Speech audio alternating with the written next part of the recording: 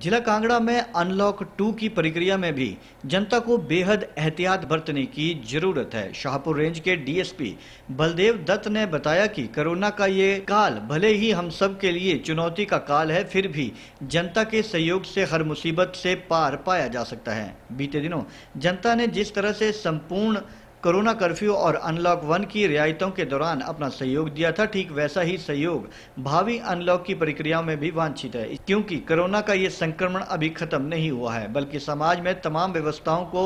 व्यवस्थित करने के लिए आर्थिक हालतों को पटरी पर लाने के लिए भी ये फैसला सरकार और प्रशासन के द्वारा लिए जा रहे हैं। और पहले से रश भी बढ़ा है तो निसंदेह रूप से ऐसे समय में हमारा काम थोड़ा सा और ज़्यादा मुश्किल हो जाता है। लेकिन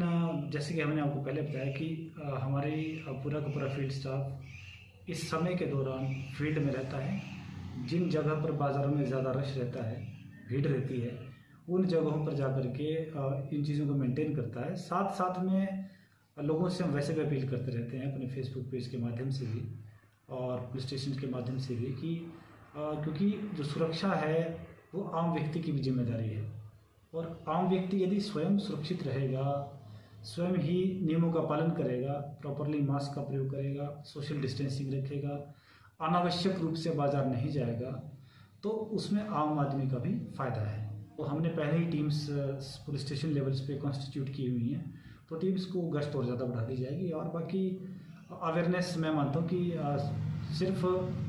लीगल एक्शन ही इसका एकमात्र इलाज नहीं है। और लीगल एक्शन हम लेते हैं, जहाँ पर हमें वायलेशन कोई दिखती है कि ये वायलेशन क्षम्य नहीं है, या जहाँ पर लोगों की किसी व्यक्ति के आचरण से, लोगों की सेफ्टी पर, उनकी हेल्थ पर कोई संकट हमें दिखता है तो उस व्यक्ति के खिलाफ हम नियमानुसार कार्रवाई भी अमल में हैं, उसका चलान भी किया जाता है। ज़्यादा ही कोई कर देता है तो उसके लिए हमारे पास प्रोविजंस भी हैं तो उसमें केस भी दर्ज किया जा सकता है। लेकिन इसके अतिरिक्त लोगों से एक हम लोग विनम्र अपील भी करते हैं कि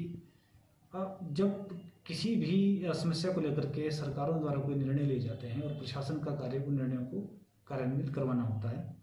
तो वो निर्णय हमेशा जनहित में लिए जाते हैं और जनहित में लिए गए निर्णयों का सम्मान जनता को भी करना चाहिए। और जनता को स्वयं चाहिए कि अगर कर्फ्यू के आर्ट्स को बढ़ाया गया है तो वैसे समय में उन्हें भी ज़्यादा सावधान रहने की ज़रूरत है, क्योंकि बाज़ारों में लोगों की जब आवाजाही बढ़ेगी तो निसंदेह रूप से उसमें कोई पता नहीं कितने लोग उसमें पॉजिटिव भी घूम रहे होंगे। तो वैसे टाइम में उन्हें भी ज़्यादा एहतियात बरतने की आवश्यकता है। तो मैं समझता हूँ कि यदि पब्लिक का हमें सहयोग इसमें मिलता है, जनता का सहयोग मिलता है, इसे भी कंट्रोल करने में हमें ज़्यादा दिक्कतों का सामना नहीं करना